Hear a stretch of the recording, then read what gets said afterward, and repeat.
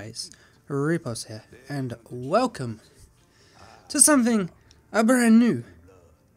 And this is a game called Maneater. Now this game has really caught my attention over the past couple of days because I've been watching the game trailers and it looks absolutely awesome. Damn, it looks cool. Anyway, Maneater, what is it? Well, have you ever wanted to play as a shark and eat people and other things? Well, this is the game for you because you are a shark. And how this starts is you were cut from your mother's body and left to die in the unforgiving wastes of the Gulf Coast. That's pretty much how the story starts, but in the trailer we are playing as the shark's mother, and then to a point we uh, get caught and then we get cut out. So yeah, in the background is basically the tutorial, the first 15 minutes of the game. So you play it as the mother of the sh mother shark for that duration of time, and then you get caught, and then obviously you get cut out, as I just said. So, your only tools are your wits, your jaws, and uncanny ability to evolve as you feed. Anything and everything is on the menu, provide you kill it before it kills you. So this game isn't going to be like you can go around and eat other eat things where you can, but they will attack you as well. So we've got crocodiles in this, they will they will take you out as well. Other sharks, killer whales, we've got human hunters and everything else. They will obviously try and kill you before you kill them. So it's up to you kill them. This game is an action RPG an adventure game, so it's an open world game, and I gotta say it does look beautiful. When I saw the trailer, the gameplay looks amazing. Like just how the colors blend in with each other, I guess. It just looks amazing, and it just I just cannot wait to play this game. And so we're gonna move on to more about this game because we all want to know that. Maneater is a single-player action RPG, as I just said, set in an unforgiving waters of the Gulf Coast. Fight to survive in the open ocean with danger lurking at every depth. Use your tools, jaws, and, and your abilities uh, to evolve as you feed. And everything is on the menu. Kill or be killed. So, becoming become a man-eater. Play as a giant bull shark and terrorize the coastal waters. Tear Swimmers and divers limb from limb give the humans a reason to fear you. So you play as a bull shark, and that's how you. That's what you play as.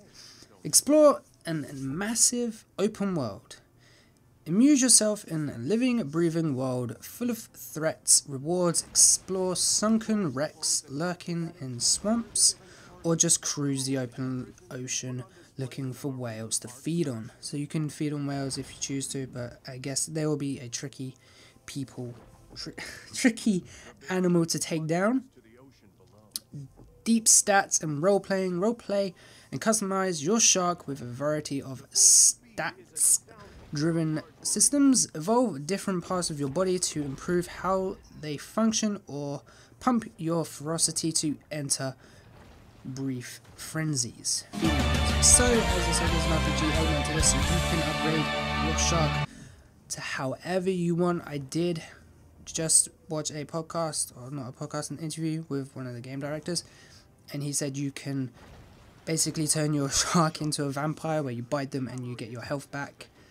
Uh, you can be like a tanky shark as well, and it just and an AOE as well. You can be like the one that just AOE stuff. But that could be just the tip of the iceberg with the customizations. Yeah, yeah. So, the team behind this is from uh, Tripwire Interactive. They gave us depth, so they are familiar with the sharks because they that depth the depth game was pretty cool. I didn't get a chance to play it, but depth was pretty cool. It was um uh, humans versus sharks, and humans had to get treasure, defend this bot called Steve, and the sharks had to kill you, and you could play as a range of sharks while trying to kill the humans. It's like a team death team deathmatch kind of situation there. Uh, Killing Floor, they made Killing Floor, and that game was amazing. Killing Floor is just beyond nuts with zombies and all that stuff. So that's pretty cool. So their goal is to push the feeling of playing as a shark to new heights, developing a strictly single player experience that will challenge and engage the player from start to finish. Gritty, visual, heart pounding action games is what their calling is. So that's all to come, and I cannot wait to get this game. So this is go onto their website, uh, which I got it up right now. Uh, we're gonna quickly see through what we got. We got eat, explore and evolve in an open world action RPG. Play through a full narrative narrative story based campaign narrated by Chris uh, Saturday Night Live and Very who also is in Rick and Morty. Uh, feed on humans, consume nutrients, and find rare shark loot to evolve past what nature nat- nature intended. So basically, you're you're evolving your shark beyond nature as intended. So that's pretty cool. Explore seven large regions, including bayous of the Gulf Coast. That's where you basically start, I'm guessing. Resort beaches, industrial docks, and the open ocean, and more. Experience a living world with a full day night cycle, which is pretty cool. I do like that idea. Unlock and equip various elev- uh, evolutions, there we go, that improved and enhance your sharks as you progress through the campaign. Hunty, hunter parties and bounty system. The human fight backs. The humans do fight back. The battle against various types of humans, ranging from small skiffs all the way up to coastal guards. I have not seen any of those. And for those who are wondering, there is a, a pre-order bonus. It's an exclusive, and you get the Tiger Shark adaptation, like the Tiger Shark of often called the garbage can of the ocean, this evolution allows you to digest nearly anything. It increases your ability to gain vital nutrients from your prey. So, that is pretty much it that I can find on the Man-Eater. And I gotta say, this does look so cool. And I cannot wait to get my hands on this. And it's actually a few months away it's we can get our hands on it on May 22nd, so it's pretty close by, and we won't have to wait long, I guess. Um, yeah, that's all I got. That's all I got. I hope you guys enjoyed this video. If you did, please leave a like and subscribe for more Man-Eater coming your way very soon. I'm gonna let the footage run, and hopefully you enjoy it. Video in the background, because why not? And I will see you in the next one. Peace.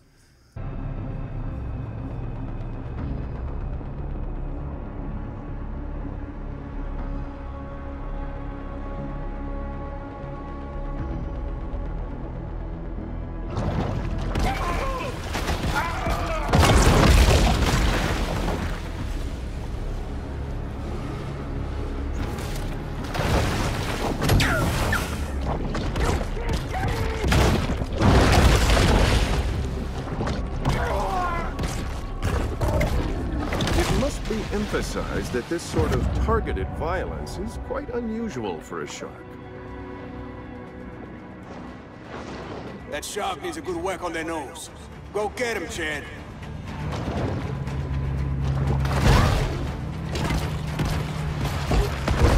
How you doing there, shark?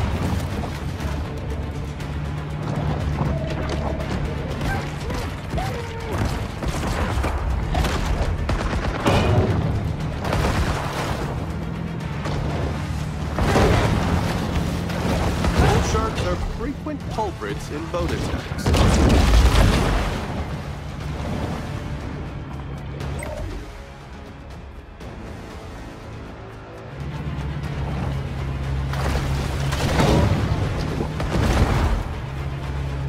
Even for experienced sailors, sharks can uncork a load of surprises.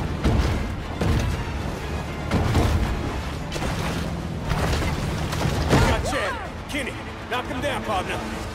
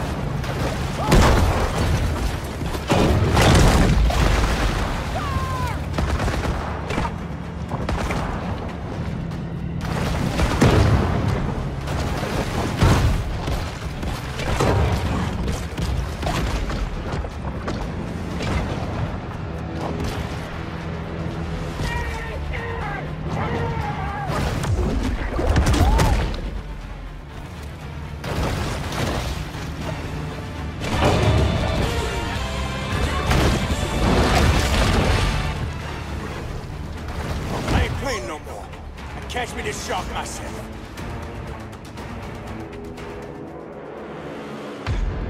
Ho ho! Look at them teeth!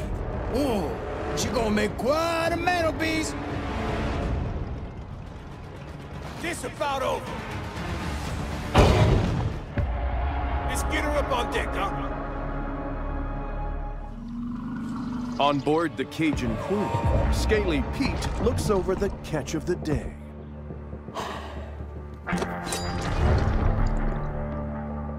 Yeah, this my daddy's iron, all right. But this ain't the shark. Not the one I was looking for. How do you know? How I know? Not big enough. This look like a mega to you?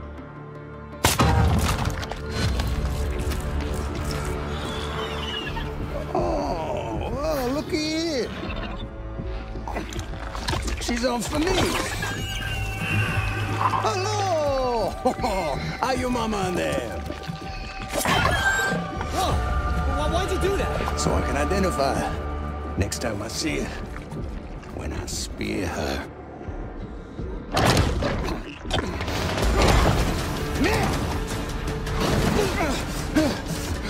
The tiny pup responds with an instinct for survival. You better want to turn off that camera.